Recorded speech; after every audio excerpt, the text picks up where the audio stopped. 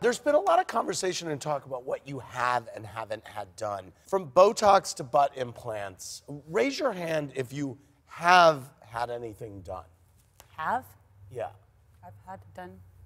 If you have have had anything done.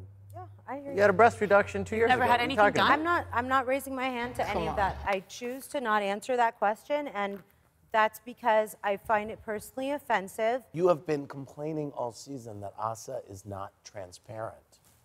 Yes, and what I'm talking about is my body confidence and being ridiculed by social. You take half naked pictures and put it on Instagram. Of course, these strangers are going to have something to say.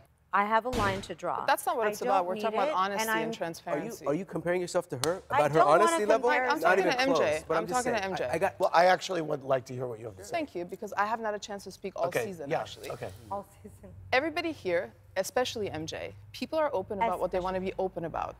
As far as what you've done to your body, for example, are those lips natural, MJ? Yes, they're natural. Okay, so we know people who went to high school with you. I know These people are not that your lips. you went to high school too.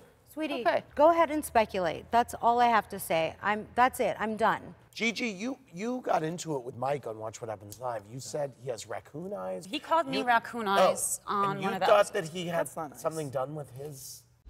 Mike, you know, that wasn't really nice. Let's talk about the plastic surgery you had done to get rid of your raccoon eyes. Did you have something to get done with your raccoon eyes? Doesn't it look like I have dark circles under her? my eyes? This is no Wait, makeup. Did you have them fixed? No, I tried. I couldn't. Did she?